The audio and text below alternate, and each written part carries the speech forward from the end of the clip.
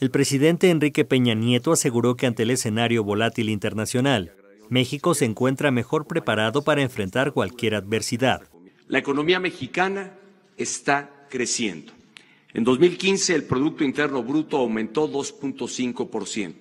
Esta tasa supera el desempeño de algunas de las economías más grandes, como Estados Unidos, que creció 2.4%, el Reino Unido, que lo hizo en 2.2%, o Brasil, que decreció en 3.8%. Al asistir a la vigésima cuarta reunión plenaria de consejeros de Banamex, el Ejecutivo Federal se comprometió a seguir adelante con la transformación de México. No obstante estas cifras alentadoras, el Gobierno de la República seguirá actuando con plena responsabilidad ante un escenario financiero internacional cada vez más complejo.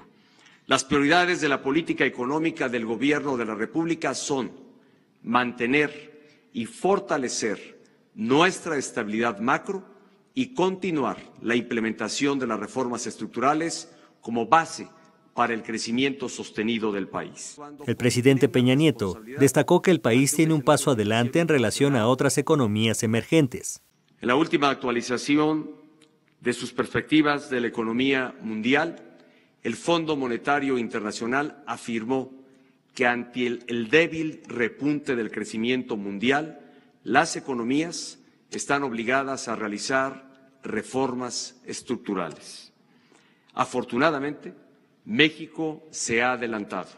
En este proceso, lo que nos abre una gran ventana de oportunidad que debemos aprovechar.